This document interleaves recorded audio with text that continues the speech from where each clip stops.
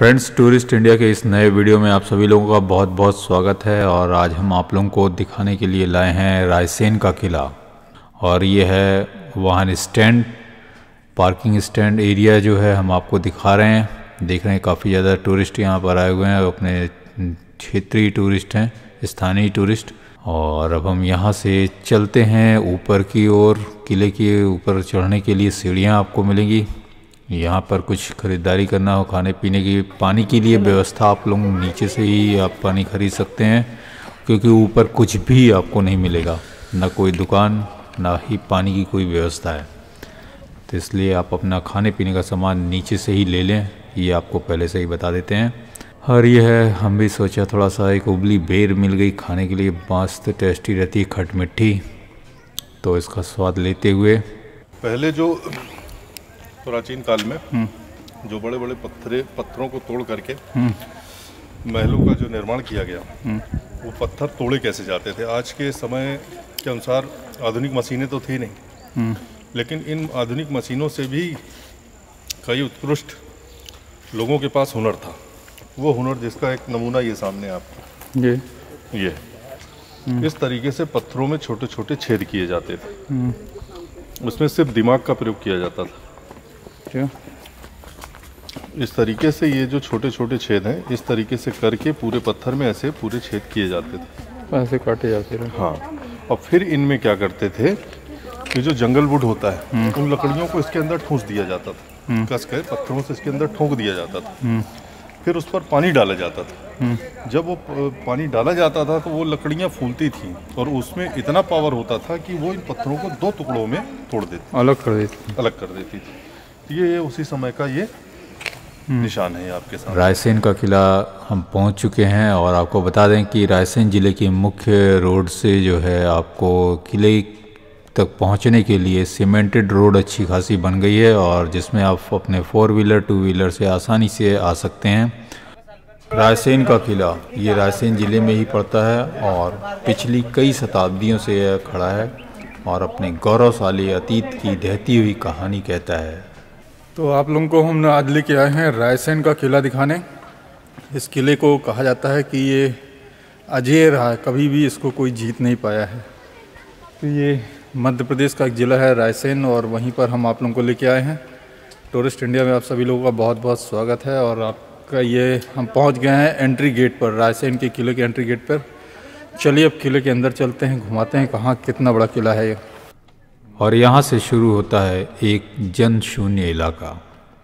रायसेन का किला मध्य प्रदेश की राजधानी भोपाल से लगभग 45 किलोमीटर की दूर पर रायसेन ज़िले में स्थित एक विशाल ऐतिहासिक इमारत है।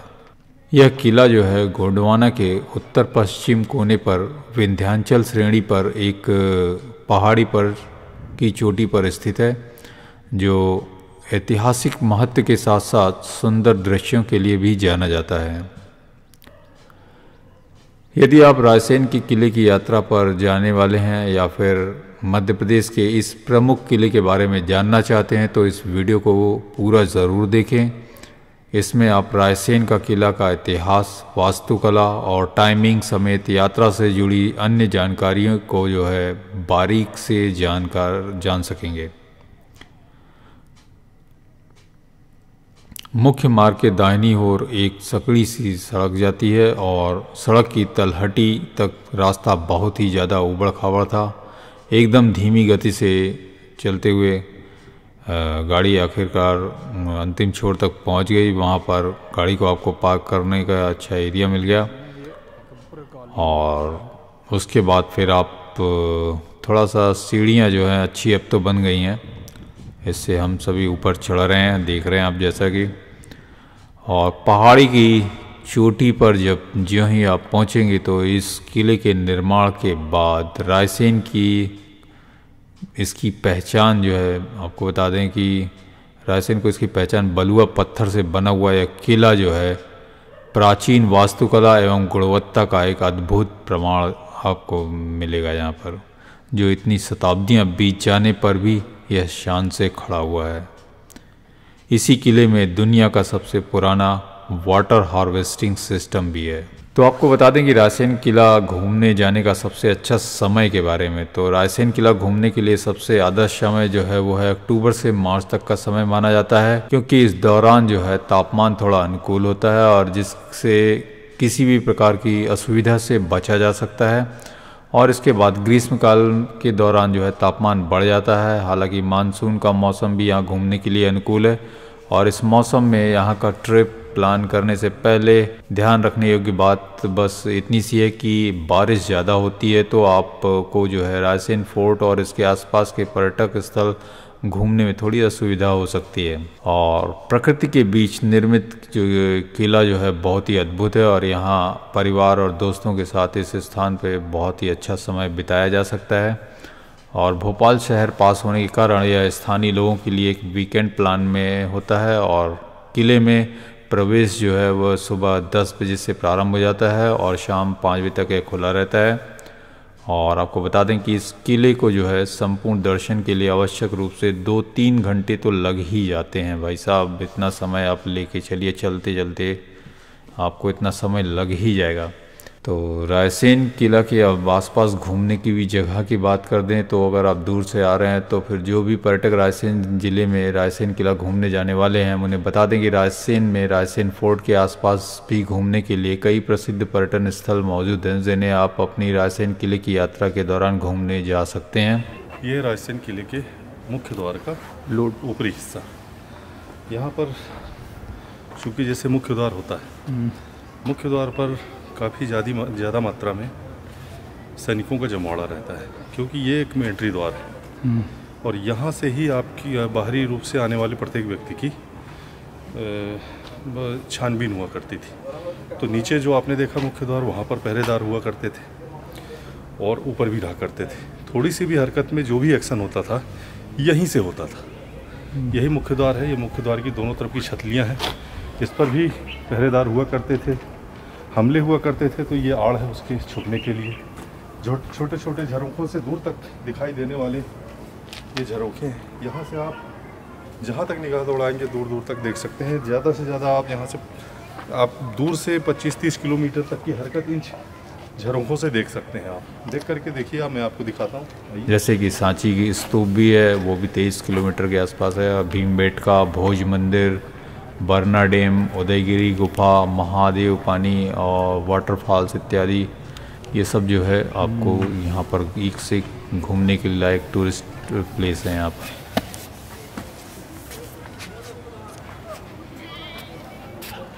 ये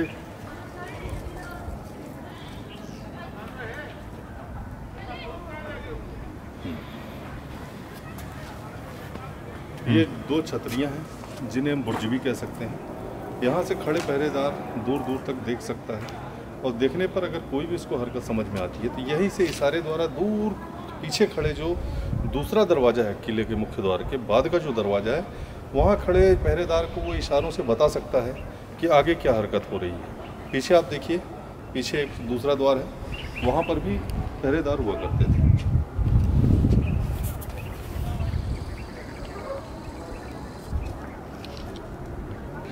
अब ये जो देख रहे हैं आप, ये मुग़ल कालीन शिल्पकला का नमूना है। आप खुद सोचिए, उस समय ना कोई तकनीक थी, ना कोई मशीन थी, ना कुछ था। सिर्फ़ हाथों में हथौड़े और पत्थर के हथौड़े और लोहे के कुछ औजारों के द्वारा इतनी शानदार नक्काशी कैसे की जाती रही होगी, ये भी एक बहुत, अपने आप में बहुत बड़ा अद्भुत नमूना है। आप देखिए, यहाँ से दूर दूर तक, आप कोसों दूर तक देख सकते हैं यहाँ से। पहरेदार मुख्य द्वार का दूर दूर तक हर हरकत दिख सकता था। और शायद यही इसी का, यही, इस यही कारण रहा है कि इस किले पर कई आक्रमणकारी आए आक्रमण करने के लिए, लेकिन आज तक सफल नहीं हुए। जिसका इस पे, इसका इतिहास जो रहा है, बहुत मुगल कालीन समय का रहा है। और इस पर ना तो किसी बाहरी आक्रमणकारी ने आज तक इस किले को जीत नहीं पाया। आपने दुनिया के किलों पे देखा है कि एक राजा को दूसरे राजा ने आक्रमण करके जीत लिया, लेकिन इस किले को आज तक किसी भी राजा ने इस पर आक्रमण नहीं कर पाया। और देखिए ये छतरी है मुख्य द्वार की, एक इधर है और एक हमारे भाई बाएँ हाथ तरफ़ है।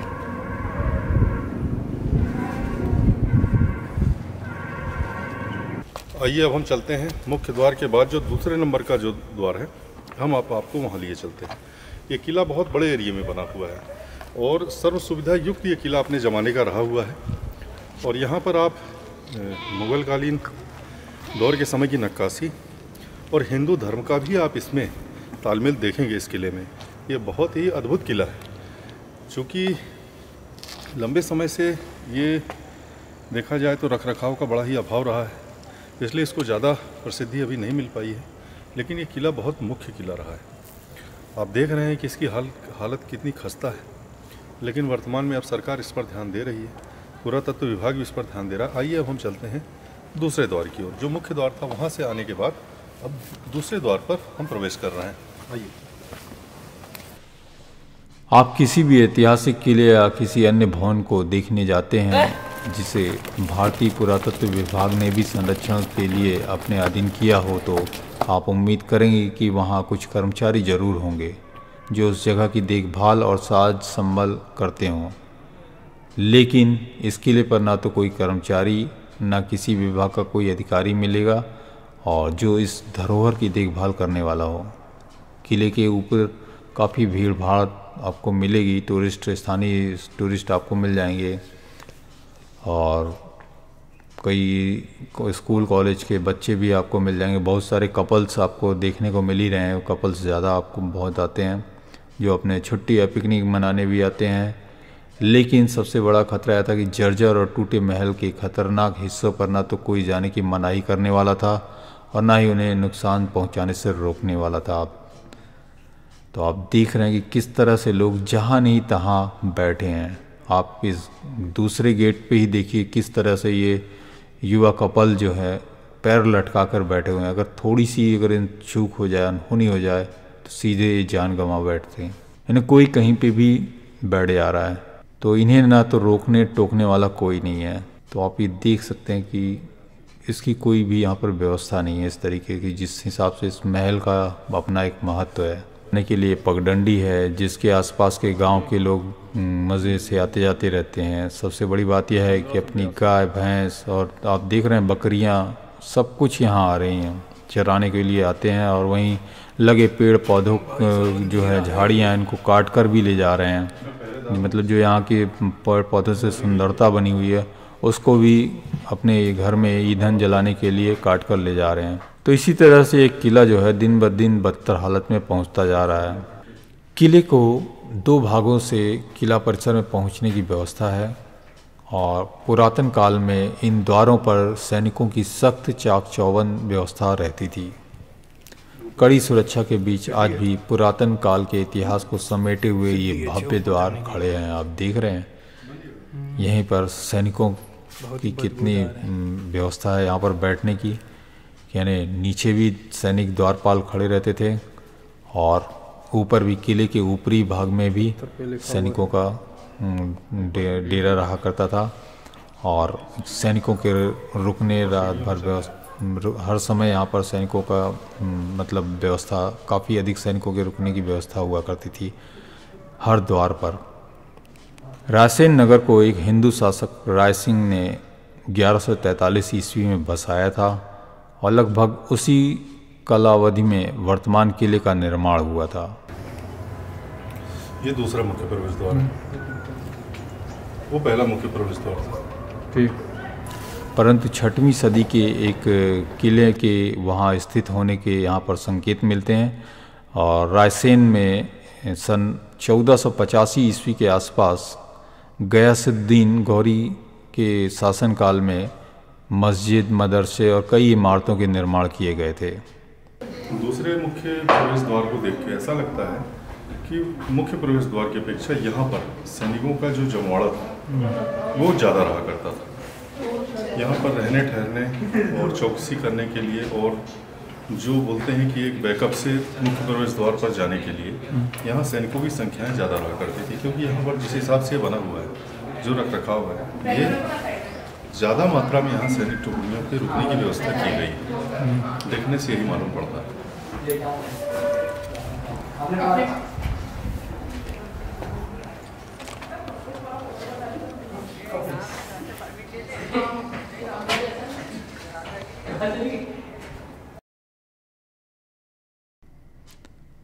एक और राजपूत सरदार का उल्लेख मिलता है, जो तोमर था। नाम था सिलहादी, यानी शिलादित्य। उत्तरी मालवा इस इसके कब्जे में रहा है और 1531 ईस्वी में जो है, सिलहादी ने गुजरात के सुल्तान बहादुर शाह को मालवा पर विजय दिलवाई थी। यानी ये एक हिंदू राजा था। सिलहादी जो कि मुस्लिम बादशाह को जो है साथ मिलकर गुजरात के सुल्तान को मतलब मालवा पर विजय दिलवाई। मालवा के राजा को हराया है। मतलब पहले ऐसे होता था ना कि बादशाह हिंदू राजा ही अपने दुश्मनों से मिलकर जो है, अपने हिंदू राजाओं, बादशाहों को हराते थे, कि अपनी शान समझते थे। यह है एक संयुक्त अभियान था, जिसमें मेवाड़ के राणा सांगा की सेना ने भी भाग लिया था। प्रतिफल स्वरूप सिल्हादी को उज्जैन और सारंगपुर में सूबे दिए जाने थे, लेकिन मालवा विजय के बाद बहादुर शाह को लगा कि सिल्हादी और अधिक शक्तिशाली हो जाएगा और सुल्तान के लिए खतरा बन सकता है। अतः उसने अपना इरादा बदल दिया और सिल्हादी को रायसेन किले को खाली कर सौंपने और वापस बड़ौदा जाने को कहा। अब देख लिए ना, यही हुआ था इन बादशाह पहले तो इनका सहारा लेकर और भी राजाओं को जीता और जब जीतने के बाद देखा कि वो वो मज़बूत हो गए, फिर धीरे से इनको भी हटाने का रास्ता निकाल लिया। और या तो नहीं तो बाद में इसी सिलहादी को सिलाउद्दीन नाम की जो दरगाह आपको देखने को मिलेगी, इसी सिलादी के राजा की है। तो इनको मुस्लिम धर्म में कन्वर्ट करवा दिया गया बाद में। आप देख रहे हैं कि ऐसे ही लंबे लंबे रास्ते बने हुए हैं अलग अलग किले के अलग अलग खंड में जाने के लिए। और हम चलते जा रहे हैं आप लोगों को दिखा रहे हैं। चलिए आगे और दिखाते हैं कैसा क्या मेरे छोटे भाई आपको पूरा इंडिकेट कर रहे हैं हर चीज़ इसके बारे में डिटेल पूरी बताते जा रहे हैं। भाई इसे लंबे लंबे रास्ते दिए गए हैं। पर की मुख्य सड़क है। हम्म। अब हम मुख्य किले के किले की ओर बढ़ रहे हैं। अभी आप प्रवेश द्वार से अंदर आए हैं। अब हम ये किले के ऊपर जो ऊपरी हिस्सा है उसकी मुख्य सड़क पर चल रहे हैं। काफ़ी लंबी सड़क है। तो सिलादी इसके लिए कतई तैयार नहीं था और उससे इनकार किए जाने पर बासु बा, बहादुर शाह द्वारा यह कैद कर लिया गया था। तो सन 1532 में बहादुर शाह ने सिलादी को लेकर रायसेन किले की घेराबंदी कर दी। और उन दिनों जो है किला सिलादी के भाई लक्ष्मण राय के कब्जे में था। तो महीनों की घेराबंदी से भी किले पर बहादुर शाह का आधिपत्य नहीं हो सका था। यानी चार महीने तक जो है, बहादुर शाह जो है, नीचे अपनी सेना को लिए इंतज़ार करता था। जब इनके यहाँ का राशन पानी कम हो गया, घट गया धीरे धीरे ये कमज़ोर पड़ते गए तो फिर सिलादी ने बहादुर शाह से स्वयं अकेले में मिलने किले में प्रवेश कर अपने भाई को समझाने की पेशकश की और इस प्रस्ताव को फिर बहादुर शाह ने मान लिया और सिल्हादी किले में प्रवेश कर गया और किले में दोनों भाई गले मिले और उपलब्ध विकल्पों पर जो है विचार किया। रसद की कमी थी और अधिक समय तक शत्रु को रोके रखना संभव नहीं दिख रहा था दोनों के लिए। तो इस पर जो सिल्हादी की जो पत्नी थी रानी दुर्गावती ने भी जौहर की तैयारी कर ली थी। वह अपने पुत्र पुत्र वधु जो है, उनकी राणा सांगा की जो कि बेटी थी और उसके दो बच्चों समेत चिता में वह कूद पड़ी। सात सौ अन्य महिलाओं ने भी उनका साथ दिया और इसके बाद सिल्हादी अपने भाई और अपने और किले में उपलब्ध सैनिकों के साथ शस्त्र धारण कर सुल्तान की सेना से भिड़ गया। और किले की तलहटी में ही दोनों वीरगति को प्राप्त हुए। संभवतः बहादुर शाह किले को पूर्ण मल के अधीन छोड़ गया था, क्योंकि सन 1543 में शेरशाह शूरी ने पूर्ण मल से इस किले को छीन लिया था। तो सन 1760 से यह किला जो है भोपाल के नवाबों के अधीन रहा है। किले पर अधिकार कर पाने में सफलता प्राप्त की थी। मतलब जब शेर शाह सूरी राजा पूर्णमल का जब यहाँ पर शासन था लगभग 1532 में, तब शेर शाह सूरी इस किले पर आक्रमण करने के लिए चार महीने तक लगभग इसके चारों ओर घेरा डाल के रखा था, लेकिन चार माह तक इस पर अधिकार नहीं कर पाया था। उसके पश्चात वो इस पर अधिकार कर लिया था। उसको चार माह की मशक्क़त करनी पड़ी। रायसेन किले के अंदर पेमिया मंदिर, मोतिया तालाब, मदागन तालाब, बादल महल, रानी महल, झिंझरी महल बरादरी, इत्रदान, तोपें, पीर सलाउद्दीन की दरगाह तथा धोबी महल देखेंगे। इन स्थलों को देखते हुए आप लगभग 650 मीटर का पथ पूर्ण करेंगे। मतलब वहाँ का छः साढ़े लगभग साढ़े छः सौ पचास मीटर का रास्ता है। और यहाँ से दूसरी ओर जो किले के पश्चिमी भाग में झाड़ी, दरवाज़ा, कचहरी डोला डोली तालाब एवं अन्य अनेक दर्शनीय इमारतें हैं।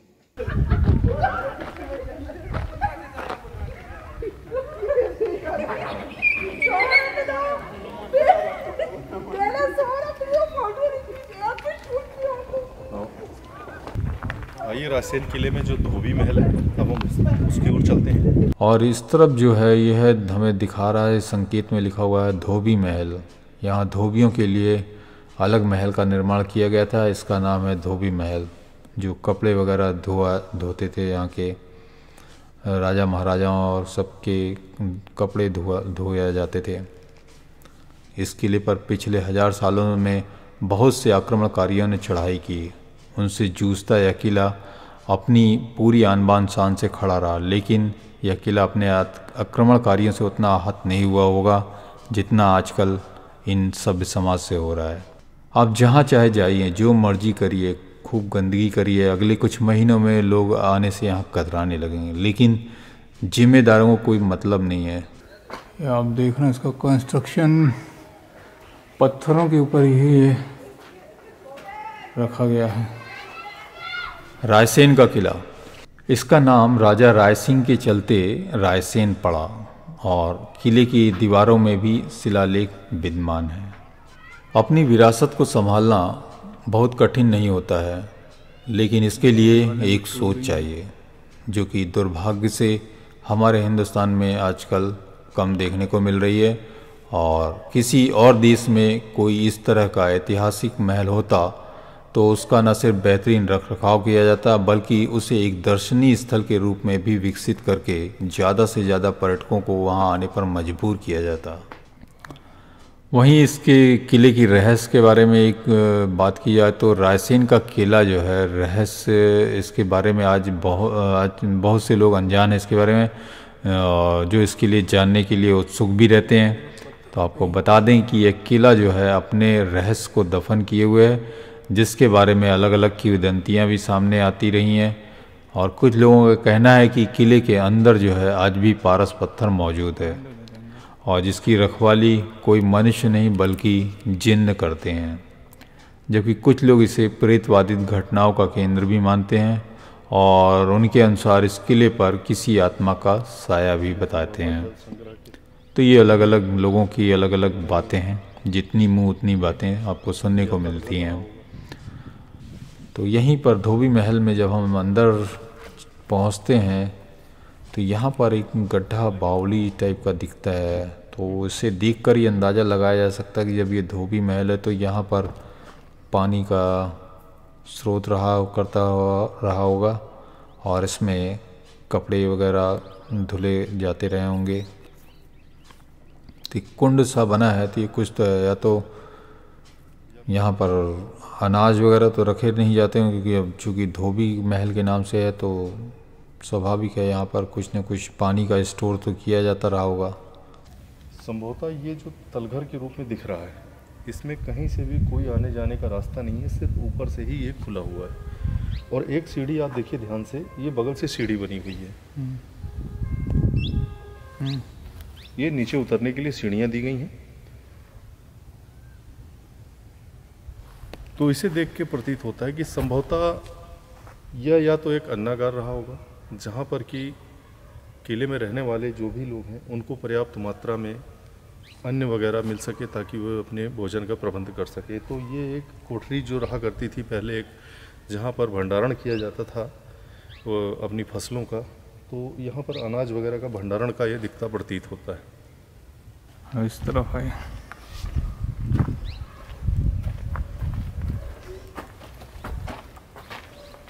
प्रकृति के बीच ऐतिहासिक धरोहर और एक मनमोहक सुंदर वातावरण मिलता है।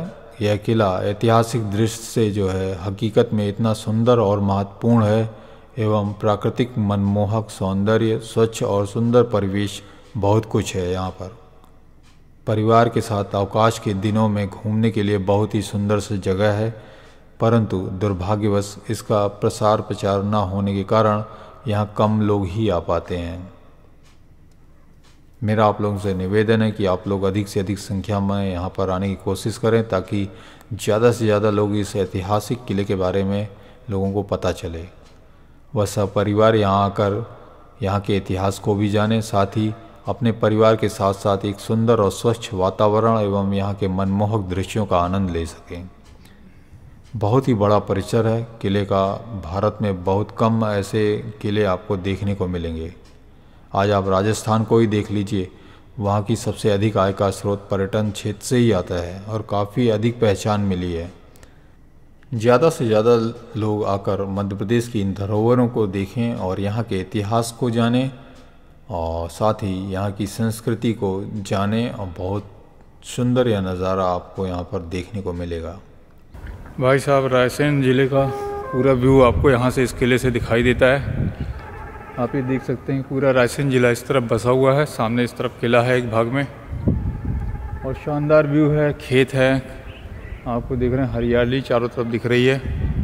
तो मस्त व्यू आपको देखने को मिल रहा है यहाँ से। सोच लो कि उस ज़माने में पहाड़ों के ऊपर इतनी ऊंचाई पर किले बनाए जाते थे और किस तरीके से भंडारण किया जाता था, सैनिकों के रुकने का खाने पीने का प्रबंध होता था, स्नानागार और भी कई महल में बहुत सारी चीज़ें हम आप लोगों को चलिए और भी दिखाते हैं। बने रहें, वीडियो थोड़ा लंबा हो रहा है, लेकिन आपको इंटरेस्टिंग चीज़, ऐतिहासिक चीज़ आपको देखने को मिल रही है यहाँ पर। चलिए और भी दिखाते हैं।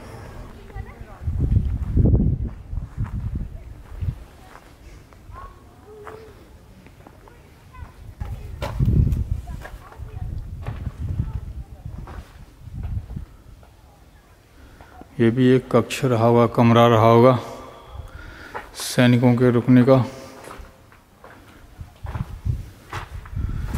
सबसे मेन चीज़ कि यहाँ पर ये बल्लियाँ ही थी।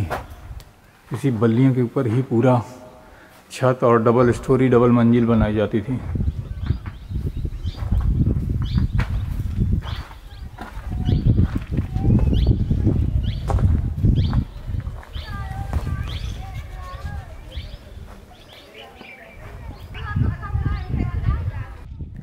रायसेन किले के सभी भवन जो है, विशाल दलान की तरह मुँह किए हुए थे और बीच में थी एक टूटी फूटी स्थित में बड़ी सी बावड़ी, जिसने हमें आकृष्ट किया।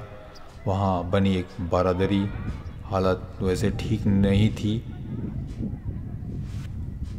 और ये है किले के अंदर ही मोती कुंड इसे कहते हैं कि किले वाली पहाड़ी पर स्थित मोती कुंड इसमें राज परिवार के सदस्य नहाते थे उस समय सीढ़ियाँ थी यहीं सीढ़ियाँ कितनी बड़ी बावली है मोती कुंड है, स्नानागार कह सकते हैं।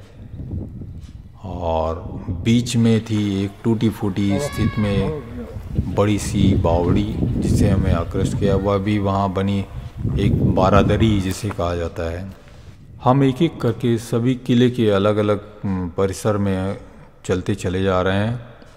और यहाँ पर आपको किले में जितने भी भवन बने हुए हैं अंदर सभी भवन एक विशाल दालान की तरह मुँह किए हुए हैं। वहीं दीवारों पर उभरे हैं। शिला लेकिन जिन्हें लगता है कि, देखकर लगता है कि ये अपनी ही कहानी ये दोबारा कह देना चाह रहे हैं।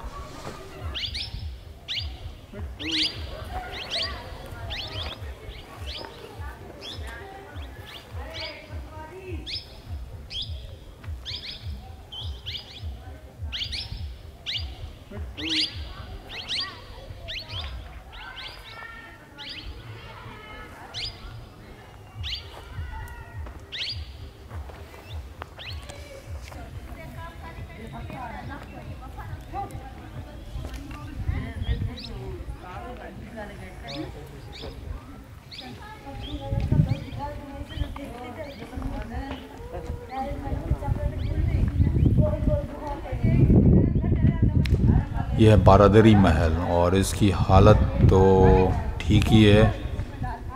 और बारादरी बारादरी मुख्यतः जो है न्यायालय हुआ करता था, राजा का एक न्याय का दरबार हुआ करता था यहाँ पर। अगर कोई गुनाह करता था तो उसके लिए न्याय यहीं पर बारादरी में हुआ होता था। अब आपको बता दें कि शेरशाह शूरी द्वारा बनाई गई तांबे की तोप के बारे में। जी हाँ इस तोप को जो आप देख रहे हैं तो आपको बताऊँ तो पंद्रहवीं शताब्दी में शेरशाह सूरी ने इस किले को जीतने के लिए तांबे के सिक्के गलवा कर तोपें बनवाई थी जिसकी बदौलत ही उसे जीत नसीब हुई है जो आज भी इस किले में मौजूद है और जिसका उल्लेख आईने शेर शाही में भी मिलता है। तोप के निर्माण के लिए सर्वप्रथम मिट्टी का एक सांचा तैयार किया जाता था और जिस आकार तथा माप की तोप बनानी होती थी उसी आकार की तथा मोम की परत सांचे पर चढ़ाकर उसे पुनः नित्ती के लेप से ढक दिया जाता था। जब गर्म पिघली धातु इस सांचे में एक ओर ढाली जाती, तब परिणाम स्वरूप मोम पिघलकर दूसरी ओर से छिद्र से बाहर निकल जाती थी। और उसके स्थान पर ढाली गई धातु जो है, वो तोप के आकार में ढल जाती थी। यह मजाल लोडिंग जो है तोप, इनका प्रयोग करने के लिए तोप की नाल में सर्वप्रथम बारूद को सुनिश्चित मात्रा में छड़ की सहायता से भर दिया जाता था और फिर उसके आगे नाल के मुँह पर तोप का गोला रख दिया जाता था। जब तोप की नाल में छिद्र स्थित में जो है आग लगाई जाती थी, तब नाल में भरी बारूद में विस्फोट होता था। तो तोप का गोला अत्यधिक वेग से लक्ष्य भेदने के लिए निकल जाता था। यह जानकारी पुरातत्ववेताओं के आधार पर जारी की गई है।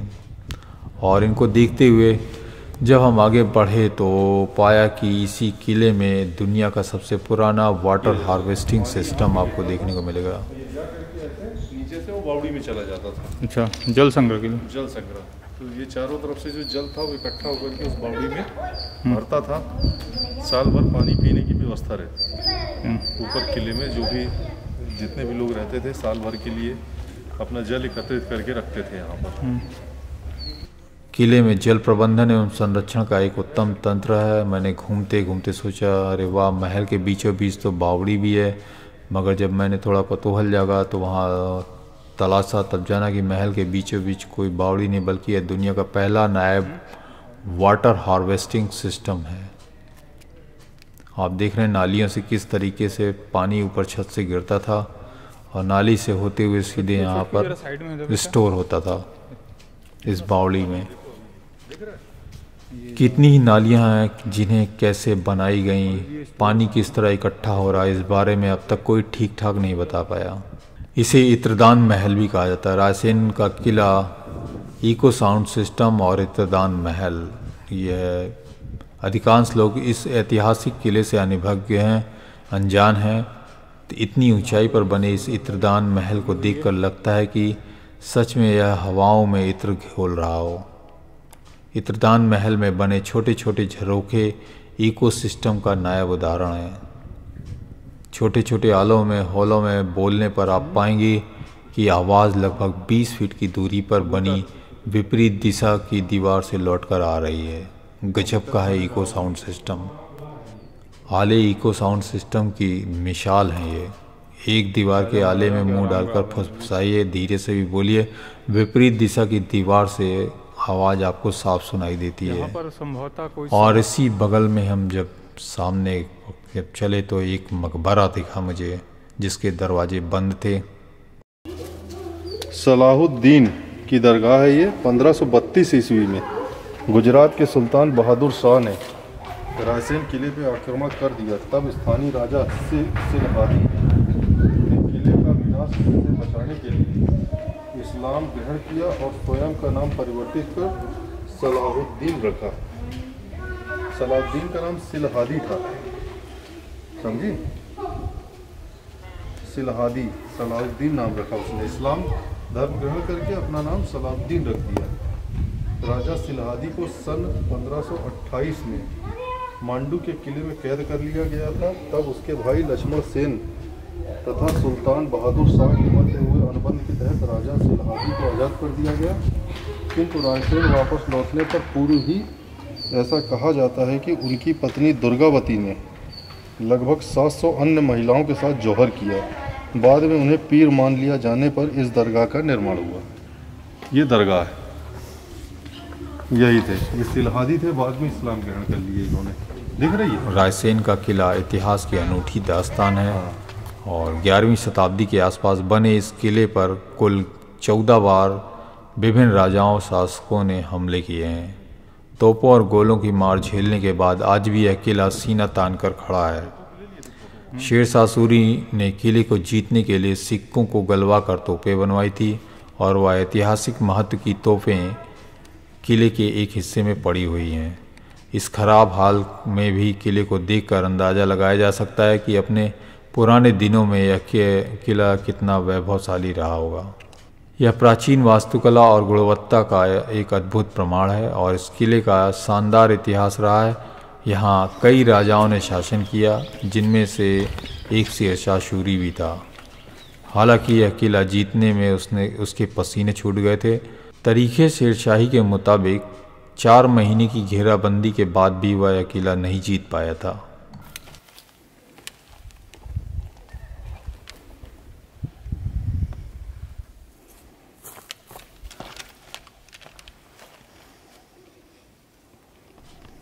इस किले की दीवारों को बनाने में उस समय जो पत्थरों की जुड़ाई में जो मसाला यूज़ किया जाता था वो बेल, उड़द की दाल, गोंद को मिलाकर इसका मसाला बनाया गया था। आप देख सकते हैं कि कितनी ठोस मज़बूत दीवारें हैं जो हज़ारों सालों से खड़ी हुई हैं। कई जगह पर हमने पाया कि दीवारों की मोटाई करीब एक मीटर तक है। इतनी मोटी चौड़ी दीवारों को देखकर हैरत अंगेज आपके अंदर होता है कि उस समय और आज भी इतनी ही मजबूती से ये खड़ी हैं। यानी जो मसाला यूज़ किया जाता था, कंक्रीट में आपको बेल होती थी और उड़द की दाल और गोंद। बेल समझते हैं, जो बेल पत्थर, बेल पत्र जो शंकर शिव जी पे चढ़ाया जाता है, जो बेल होता है, जिसका कि पेड़ होता है तो उसकी गूदे को निकाल लिया जाता था, उस और उसी को मसला जाता था। काफ़ी वो चिपचिपा होता है वो। और उड़द की दाल और गोंद भी उतनी शक्तिशाली ताकतवर होती है। तो इनका मिक्सचर बनाया जाता था, उस मिक्सचर को बनाकर उसमें कंक्रीट को मिक्स करके ही इसमें ईंटों की जोड़ाई की गई है, जिसमें ये बलुआ पत्थर को रखकर ये दीवारें बनाई गई हैं। ये आप किले के कुछ पिछले द्वार पर आप देखिए। यहाँ का कुछ व्यू इस तरीके से है। देख रहे हैं। ये यहाँ से बाहर का सीन देखने के लिए छोटे छोटे क्या बोलते हैं खिड़कियाँ जो होते हैं दयार अब हम आ चुके हैं किले के पिछले द्वार पर हम्म। जो किस किले का जो पिछला हिस्सा है ये आप सामने देखिए मेहराबदार झरोखे हम्म। ऊपरी हिस्सा यहाँ से आप जहाँ तक देख सकते हैं वो सो दूर यहाँ तक कि लगभग पचासों किलोमीटर दूर भी देखना चाहे तो आपको दिखाई देगा समतल ये देखिए बहुत ही स्थल द्वारों पे जो उस समय राजा महाराजा वगैरह थे उनकी दा उनके परिवार की जो महिलाएँ थी बच्चे थे पुरुष थे या स्वयं वो ये यहाँ से इन नज़ारों का आनंद लिया करते थे।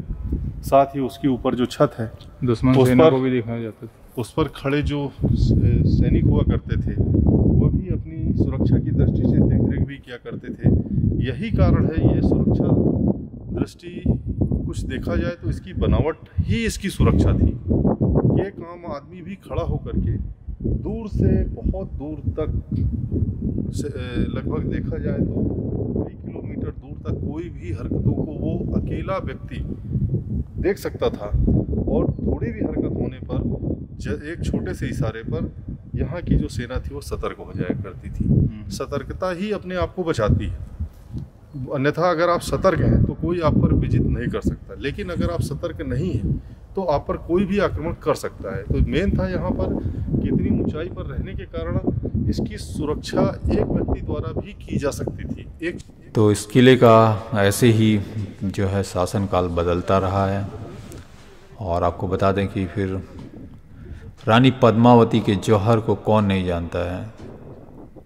उनके ही वंश की एक छत्राणी रही रानी दुर्गावती, जो कि राणा सांगा की पुत्री थी, जिनका विवाह रायसेन के तोमर राजा सिलादी से हुआ था और रानी दुर्गावती ने बहादुर शाह के आक्रमण करने पर 700 राजपुतानियों के साथ मिलकर इस किले में जौहर किया और और 6 मई 1532 को हुए इस जौहर के प्रमाण जो है रायसेन की गजेटियर में भी मिलते हैं। और जौहर के बाद शस्त्र धारण कर शत्रु भिड़ने को शाका कहा जाता है। पहले स्त्रियाँ आग में कूद कर जौहर करती थीं और जौहर के बाद पुरुष जो है केशरिया वस्त्र व शस्त्र धारण कर शाका करते थे। शाका एक तरह से शत्रु पर आत्मघाती हमला हुआ, होता था। शाम को चार बज चुके हैं सनसेट होने वाला है अभी कुछ देर बाद। यहाँ से सूरज की रोशनी आप दिख रहे हैं। तो बहुत ही शानदार व्यू आपको देखने को मिल रहा है यहाँ से। रायसेन ज़िले का व्यू है, जो कि किले के पिछले हिस्से का ये व्यू हम आपको दिखा रहे हैं। ये हमको चढ़ना पड़ रहा है। स्लिप मार सकते हैं।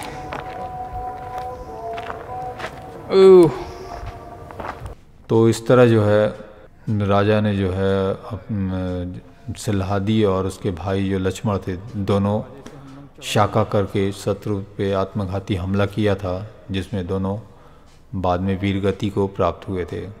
1200 ईस्वी में निर्मित यह किला जो है रायसेन मध्य प्रदेश का एक प्रमुख आकर्षण है और पहाड़ी की चोटी पर इस किले के निर्माण के बाद रायसेन को इसकी पहचान प्राप्त हुई। बलुआ पत्थर से बना यह किला प्राचीन वास्तुकला एवं गुणवत्ता का एक अद्भुत प्रमाण प्रमाण है, जो इतनी शताब्दियाँ बीत जाने पर भी शान से खड़ा रहा हुआ है। आराम गाह है। बहुत ही बदबूदार है भाई। विशाल पत्थरों से बनी हुई दीवारें नौ दरवाज़ों से बाहर खुलती हैं और इनके ऊपर तेरह बुर्ज हैं। आश्चर्य की बात यह है कि यह किले में 40 कुओं के साथ जल प्रबंधन एवं संरक्षण का एक उत्तम तंत्र भी है। किले के आसपास के क्षेत्र में कई प्राचीन गुफाएँ एवं भित्ति चित्र आपको देखने को मिलेंगी। जो हमारे देश के प्राचीन इतिहास एवं संस्कृति के बारे में बताते हुए हैं। ये आप देख रहे हैं कुछ हिस्सा इसका ध्वस्त होने की स्थिति में आ गया है गिरता जा रहा है। संभवतः इसको पुनर्निर्माण भी कराया जा रहा है। पुरातत्व विभाग द्वारा। यह किला हमारी ऐतिहासिक विरासत और इसके हर एक पत्थर में गहरी वेदनाएँ छिपी हैं। कोई महसूस करने वाला होना चाहिए। ऐतिहासिक किले को विश्व पटल पर पहचान दिलाने की ही जनता को रोज़गार दिलाने, क्योंकि पर्यटन क्षेत्र में विकसित होने से यहाँ रोज़गार के अवसरों में भी वृद्धि होगी, साथ ही युवाओं को रोज़गार और रायसेन को पहचान दोनों ही मिलेगी। अगर सरकार कुछ टिकट लगाकर इस किले का रख रखाव यदि ठीक करना चाहे तो भी ठीक होगा, लेकिन इन ऐतिहासिक महत्व के स्थानों का ख्याल रखने की फुर्सत किसे है? जून 1543 ईस्वी में शेरशाह सूरी द्वारा किए गए विश्वासघाती हमले में राजा पूरनमल और सैनिकों का बलिदान हुआ था। साल 1543 ईस्वी में रायसेन किले को जीत, जीतने के लिए शेरशाह ने धोखे का सहारा लिया था और उस समय इस किले पर राजा पूरनमल का शासन हुआ करता था। उन्हें जैसे ही पता चला कि उनके साथ धोखा हुआ है तो राजा पूरन मल ने दुश्मनों से अपनी पत्नी रानी रत, रत्नावली को बचाने के लिए उनका सिर खुद ही काट दिया था। इसके बाद शेर शाह ने राजा पूरन मल को बंदी बना लिया था और किले पर अपना आधिपत्य स्थापित कर लिया था। अकबर के शासन के दौरान रायसेन एक मुख्यालय हुआ करता था। फिर भोपाल राज्य के तीसरे नवाब फैज़ मोहम्मद खान ने 1760 में रायसेन पर शासन किया। बाद में उन्हें सम्राट आलमगीर द्वितीय द्वारा रायसेन के फौजदार के रूप में मान्यता दी दी गई। एक बावली यहाँ पे भी दी है। शायद स्नानागार भी हो सकता है, क्योंकि यहाँ पर ये बना हुआ है पानी में कूदने के लिए। है ना? यहाँ से जंप मार के ये स्नानागार रहा होगा समय राजा महाराजाओं का। और यह है रानी ताल। आप देख रहे हैं कितने बड़े इसमें आप इस चारों तरफ़ महलों से घिरा हुआ ये बीचों बीच ये जो तालाब है रानी ताल है, क्योंकि सारे रानी महारानी जितनी भी थी महिलाओं के हिसाब से ये महल देख के ही अंदाज़ा लगता है कि यहाँ पर ज़्यादा से ज़्यादा लोग परिवार रहा करते थे, फैमिली ज़्यादा रहा करती थी। और उनके लिए बीचों बीच में रानी ताल इस तालाब में राज परिवार की रानियाँ स्नान किया करती थीं। ये पत्थरों के द्वारा इसको पुनर्निर्माण कराया जा रहा है। आप ये देख रहे हैं कि वैसे ही पत्थरों को फिर से तराश कर, फिर से इसका निर्माण कराया जा रहा है।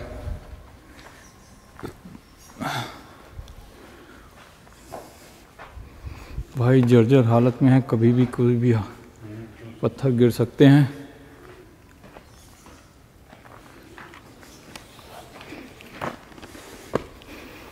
देख रहे हैं इसकी हालत कैसी है।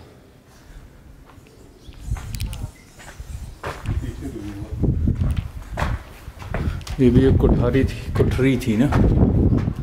यहाँ से भी पिछले का व्यू दिखाई दे रहा है। झरोखे से।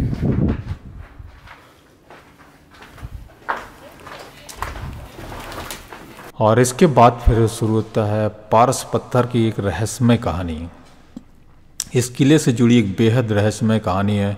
कहते हैं कि यहाँ के राजा रायसेन के पास पारस पत्थर था, जो लोहे को भी सोना बना सकता था और इस रहस्यमय पत्थर के लिए कई युद्ध भी हुए थे। लेकिन जब राजा रायसेन हार गए तो उन्होंने पारस पत्थर को किले में ही स्थित एक तालाब में फेंक दिया था। कहते हैं कि कई राजाओं ने इस किले को खुदवाकर पारस पत्थर को खोजने की कोशिश की, लेकिन उन्हें सफलता नहीं मिली। आज भी लोग यहाँ रात के समय पारस पत्थर की तलाश में तांत्रिकों को अपने साथ लेकर आते हैं, लेकिन उन्हें निराशा ही हाथ लगती है। इसको लेकर ये कहानी भी प्रचलित है कि यहाँ पत्थर को ढूँढने आने वाले कई लोग अपना मानसिक संतुलन खो चुके हैं। क्योंकि पारस पत्थर की रक्षा एक जिन्न करता है। हालाँकि पुरातत्व विभाग को अब तक ऐसा कोई भी सबूत नहीं मिला है, जिससे पता चले कि पारस पत्थर इसी किले में मौजूद है। लेकिन कही सुनी कहानियों की वजह से लोग चोरी छिपे पारस पत्थर की तलाश में इस किले में पहुँचते ही रहते हैं। कब किसको मिल जाए भैया? लोग सपने देख देख कर है भी कि नहीं? चल रहे हैं किले के दूसरे हिस्से में।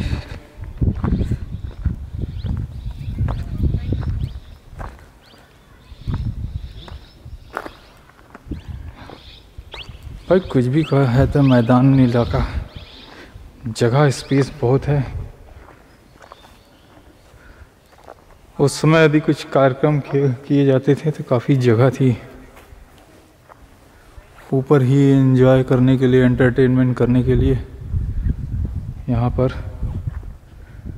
कितनी जगह हुआ करती थी, हो सकता है यहाँ पर कितने कत्लेआम भी किए गए होंगे।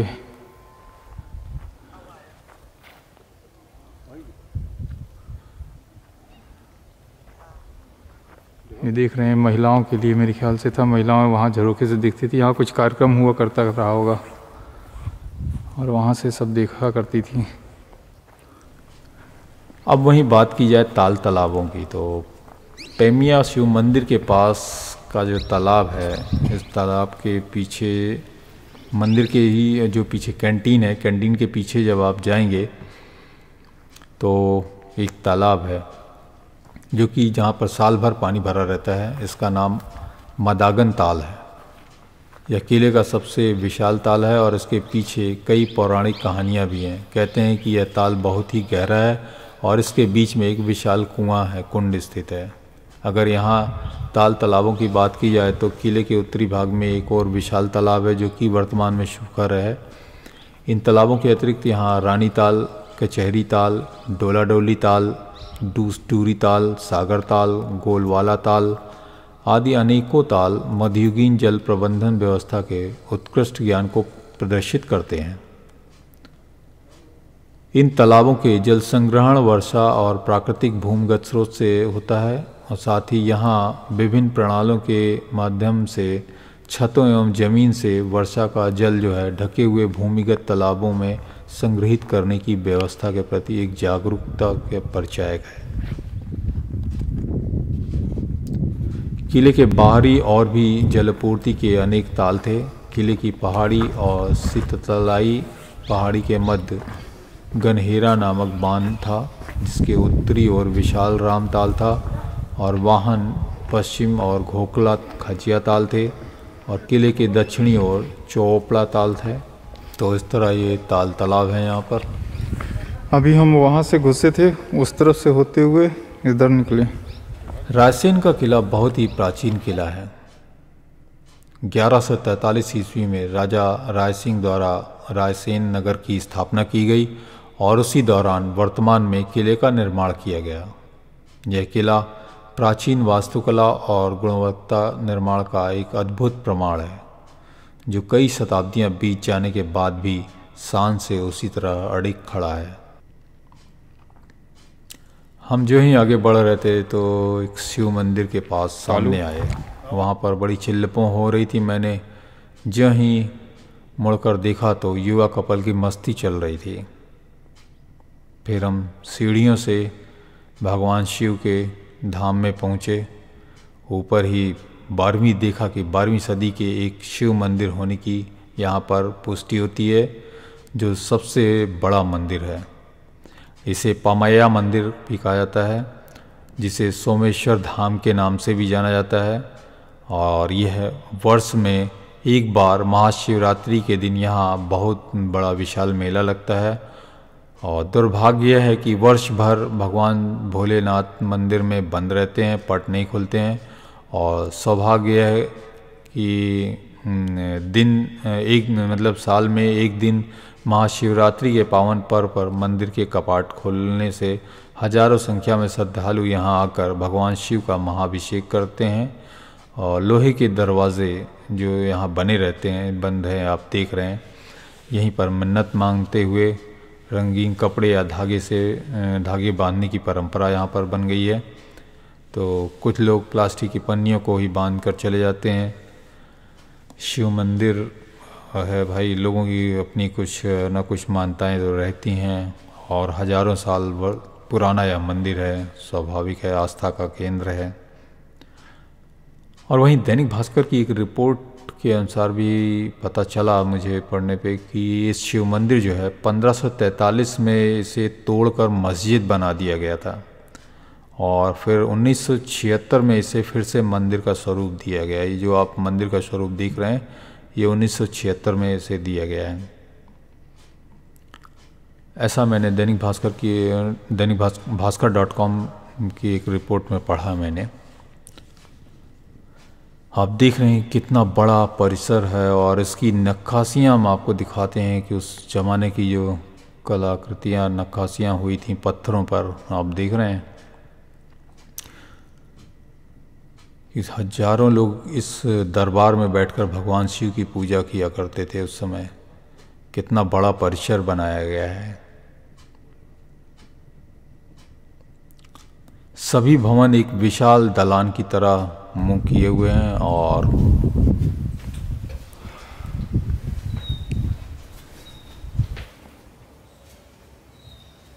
अनेक राज अपने अंदर दफन कर रखने वाले रायसेन किले को भूतिया किला भी कहा जाता है।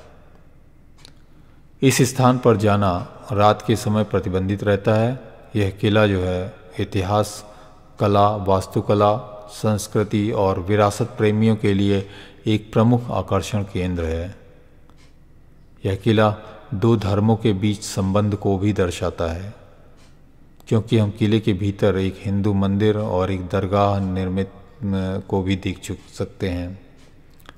और इस किले पर गुप्त काल के प्रमाण भी मिलते हैं और यह किला सुरक्षा की दृष्टि से अभेद माना जाता था।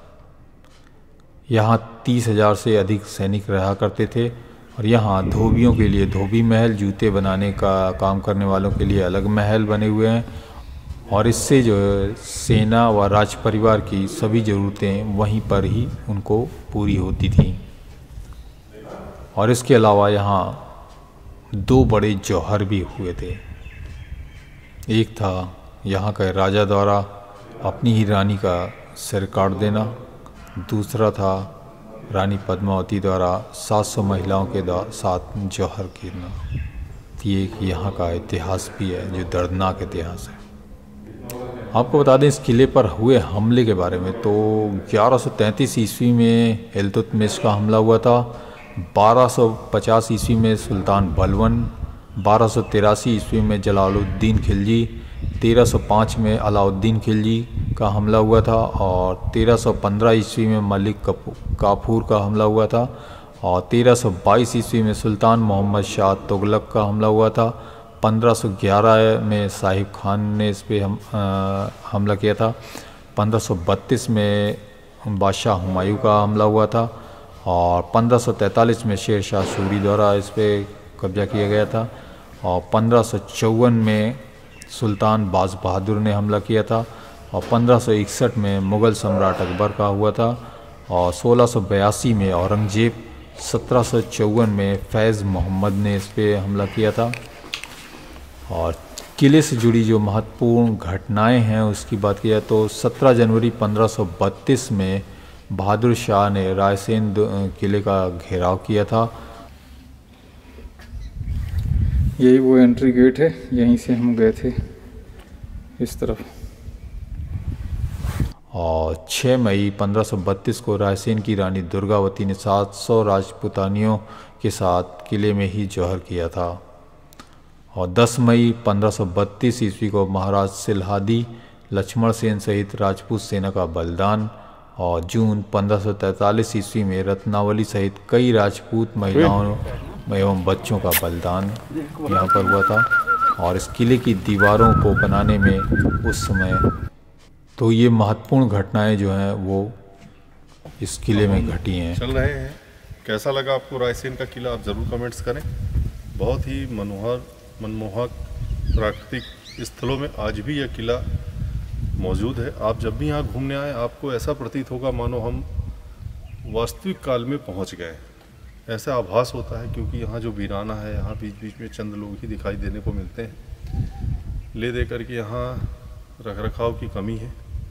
शासन कर तो रही है, लेकिन जिस स्तर पे अन्य किलों का रख रखाव है, वो चीज़ यहाँ काफ़ी धीमी मात्रा में वो कार्य चल रहा है।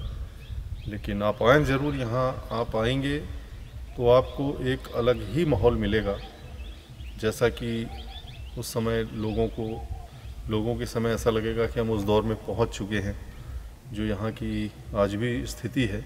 इससे ज़्यादा कोई छेड़खानी नहीं हुई है। खंडहर तो रूप में बन गए हैं, लेकिन जो अभी भी जो सुसज्जित जो महल हैं, जो बचे हुए हैं थोड़े बहुत, वो बहुत ही अच्छे हैं। और बहुत ही देखा जाए तो ऊंचाई पर यह स्थित किला जिसे आसानी से किसी ने जीता नहीं या इस पर किसी ने विजय नहीं प्राप्त करी, लेकिन जो भी लोग आए यहाँ पर तो वो एक अधिपत्य में लिए, अंतिम रूप से ये अंग्रेज़ों के अधिपत्य में रहा और उसके बाद भारतीय पुरातत्व विभाग के संरक्षण में आ गया ये उन्नीस सौ इक्यावन में तो अब रख रखाव हो रहा है धीरे धीरे हो रहा है, शासन कर रही है।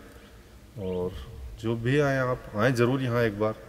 और बहुत ही अच्छी जगह है मित्रों। अब हम ये किलो को देखने के बाद अब हम चलते हैं। और कैसा रहा ये आपको किले का देखा, मैं, हमारा जो प्रयास था, हमने कोशिश करी कि आपको अच्छे से अच्छा व्यू दिखा सकें। आपको कैसा लगा, कमेंट ज़रूर करें। धन्यवाद, नमस्कार।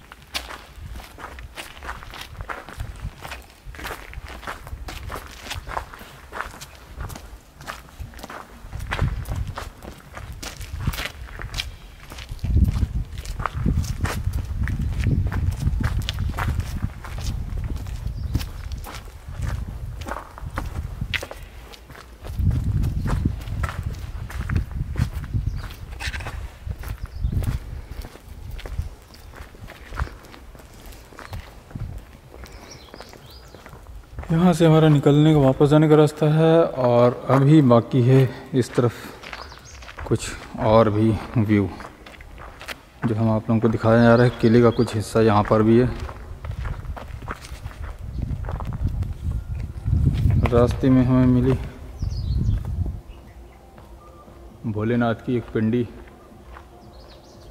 राशियन दशहरे पर परंपराओं के तहत जो है 1200 साल पुराने किले की पहाड़ी पर स्थित बारादरी महल के परिसर में रखी एक दर्जन राजा महाराजाओं के ज़माने की इन तोपों की लोगों द्वारा पूरे विधि विधान से फूल माला चढ़ाकर पूजा अर्चना भी की जाती है। और शहर के क्लब के द्वारा रोज़ सुबह खुद को फिट रखने के लिए पहाड़ी पर चढ़ते हैं। रोज़ाना नियमित सुबह पाँच बजे लोग निकल कर पहाड़ी पर योगा करते हैं। हम्म।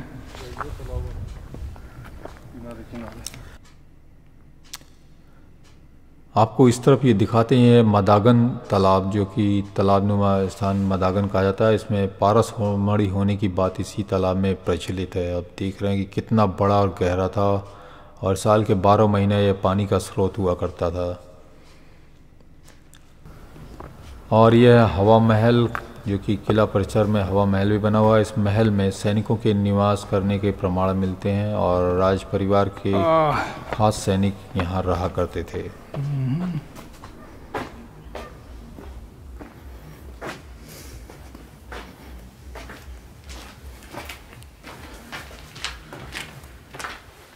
आम प्रजा के लिए मेरे ख्याल से रहने का वो रहा होगा। बाप रे झाड़ियाँ ही झाड़ियाँ हैं यहाँ पर तो।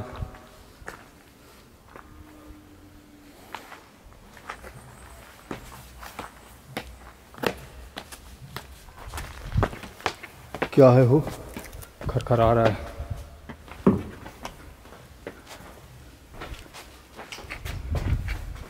कुछ है यार पीछे खड़खड़ाहट है आवाज़ आ रही। बेरे हुआ खरखराहट। क्या? गिलहरी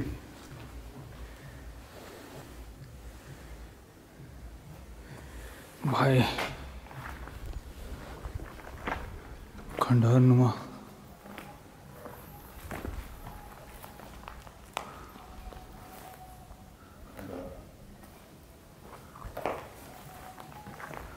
भारत में ऐसे कई किले हैं जो अपने आप में एक अनूठी कहानी समेटे हुए हैं। और ये किले भारत की शान तो कह ही जाते हैं। साथ ही आप यहाँ की कुछ ऐसी रहस्यमय बातें भी हैं जो लोगों को सोचने पर मजबूर कर देती हैं। चमगादड़ रहते हैं। रायसेन फोर्ट के बारे में कहा जाता है कि यहाँ का शासन कर रहे राजा ने खुद अपनी रानी का सिर काट दिया था। इसके पीछे भी एक बेहद ही हैरान करने वाली ऐतिहासिक कहानी है।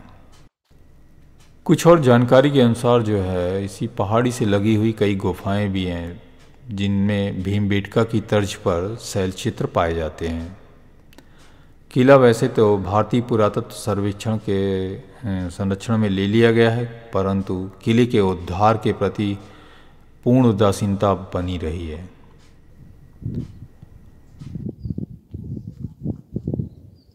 हमारा रास्ता है भाई। जंगली झाड़ी।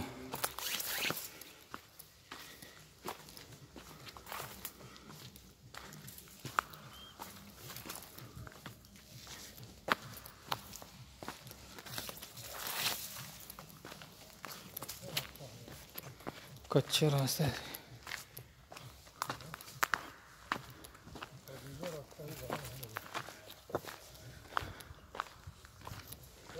हैं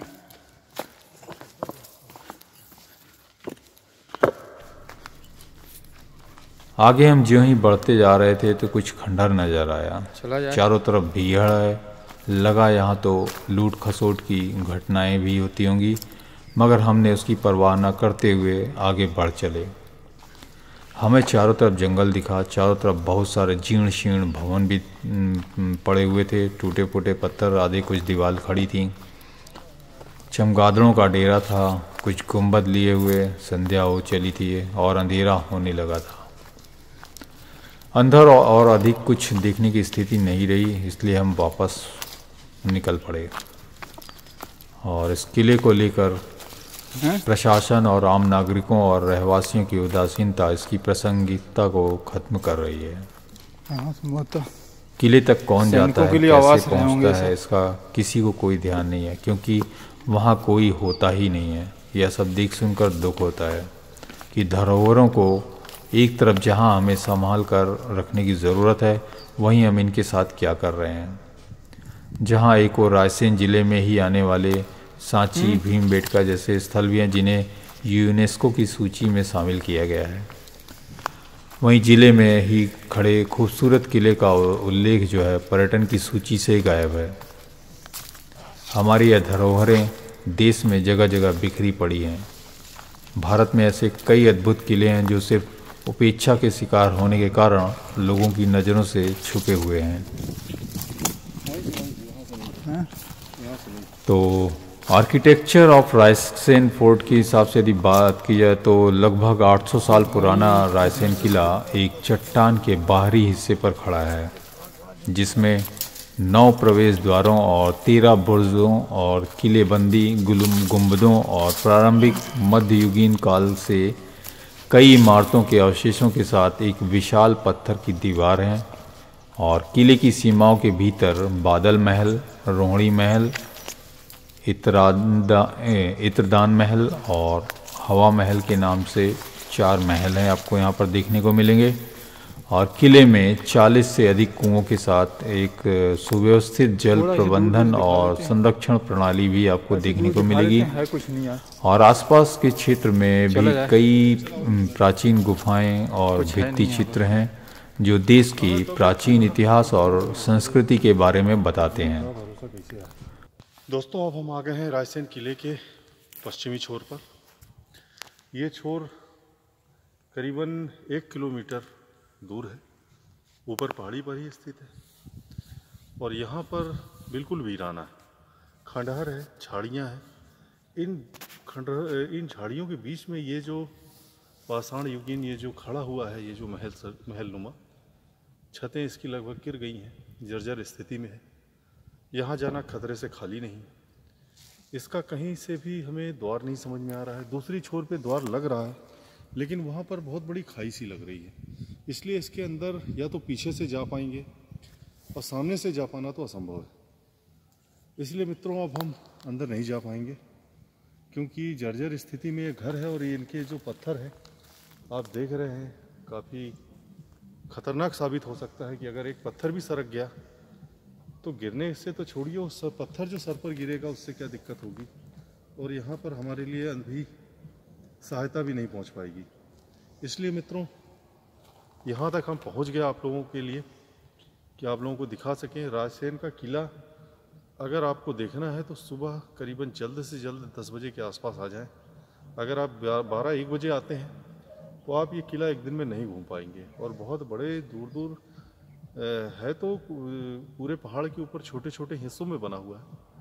लेकिन इन हिस्सों में घूमने के लिए आपको समय देना पड़ेगा मित्रों। और शाम भी हो चली है, और हमारा तो बहुत मन कर रहा है कि हम इसके अंदर जाएँ। लेकिन परिस्थितियाँ ऐसी हैं कि यहाँ कोई हेल्प के लिए भी नहीं है, मदद के लिए भी मित्रों। और ये जर्जर स्थिति में काफ़ी डेंजरस भी है। पुराने पड़ चुके पत्थर भी सरक सकते हैं। और इसलिए अब हम यहाँ से चलते हैं मित्रों। और काफ़ी भयावह भी लग रहा है यहाँ पर, लेकिन किसी भी स्थिति में पहुँच चुके हैं। रायसेन के जंगल है, वैसे भी काफ़ी ख़तरनाक माने जाते हैं। जीव जंतुओं का भी यहाँ पर आवागमन है। लेकिन कभी कभार मित्रों, इसलिए अब चलते हैं ताकि नीचे पहुँचने में भी अभी आधा घंटा लगेगा और शाम भी हो चली है। तो मित्रों, चलते हैं। वीडियो कैसा लगा आप ज़रूर बताइएगा। काफ़ी मेहनत करी है इस पर। आपको इस रायसेन के किले के बारे में जो भी जानकारियाँ उपलब्ध कराने की। और हो सका तो और जो हिस्सा छूटा हुआ है मित्रों, दूर दराज पर कई कई ऐसे वो पुरातन कालीन जो भी स्थल हैं किले के और भी जो हिस्से रहे होंगे अनभिज्ञ जिन्हें आप ना जानते हों, या हम भी ना जानते हों, या जिनकी जानकारियों का अभाव है, हम प्रयास करेंगे कि वो भी आप तक पहुँचाएँ धन्यवाद, नमस्कार। अब आपको बताएँ, किला खोलने और बंद होने का समय है तो यदि आप अपने फ्रेंड्स या फैमिली के साथ रायसेन फोर्ट घूमने जाने का प्लान बना रहे हैं और किले की टाइमिंग के बारे में जानना चाहते हैं तो हम आपको बता देंगे रायसेन का किला जो है पर्यटकों को घूमने के लिए प्रतिदिन सुबह 10 बजे से शाम 6 बजे तक खुला रहता है और आप इस दौरान कभी भी यहाँ घूमने आ सकते हैं। रायसेन के किले का इतिहास के बारे में बात की जाए तो हम रायसेन के किले के इतिहास पर नज़र डालें तो इसके निर्माण कोई प्रामाणिक पुष्टि नहीं है। विभिन्न इतिहासकारों और किले में शिलालेखों के अनुसार जो है, रायसेन का किला का जो निर्माण बताया गया है वह है ग्यारहवीं शताब्दी के आसपास हुआ था और रायसेन किले का गोंडवाना के सल्लम, यानी सलाम वंश के मज़बूत संबंध है और जिन्होंने भोपाल गोंडवाना साम्राज्य में दो मज़बूत किले, गिन्नौरगढ़ और का किला और फतेहगढ़ का किला भी बनवाया है। और वहीं सोलहवीं शताब्दी तक यह किला जो है राजपूतों से लेकर मुग़लों और भोपाल के नवाबों तक कई शासकों के अधिपत्य में रहा है।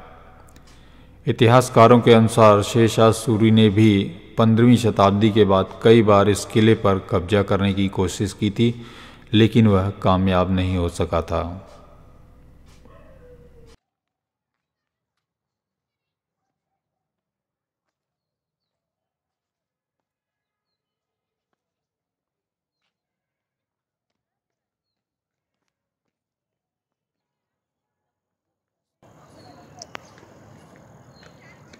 यहाँ है साइकिल स्टैंड दिख रहा है।